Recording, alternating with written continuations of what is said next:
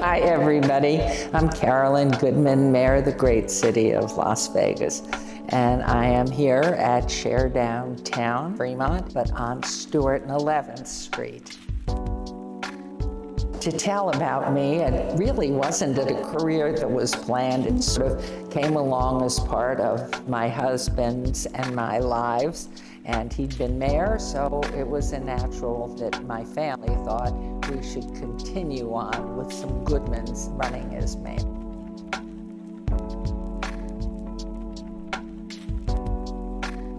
I think one of the best things about being mayor is the unique diversity that we enjoy here. Everyone that lives here chooses to live here, I guess for the most part, but we come from so many different backgrounds and so much richness to add to the entire community.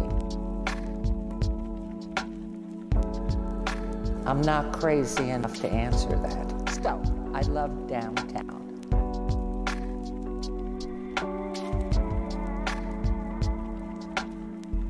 Everyone, welcome to Share Downtown Fremont East.